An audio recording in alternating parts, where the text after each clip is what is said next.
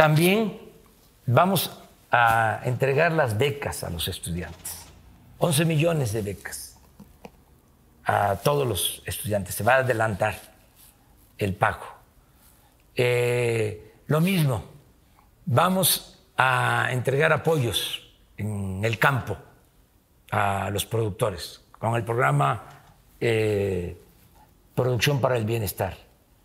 Vamos a entregar a 180 mil pescadores apoyo directo. Todo esto eh, a partir de mayo.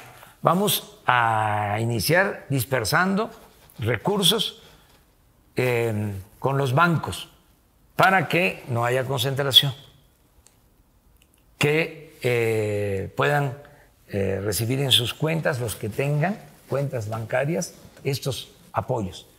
Y en la medida de que va a ir pasando la epidemia, ya van a poder ir directamente a las sucursales y los que trabajan en el campo, los servidores de la nación, van a ir casa por casa entregando los apoyos, con el respaldo de la Guardia Nacional, para que no haya asaltos, para que no les hagan daño y lleguen a las casas a entregar todos los apoyos.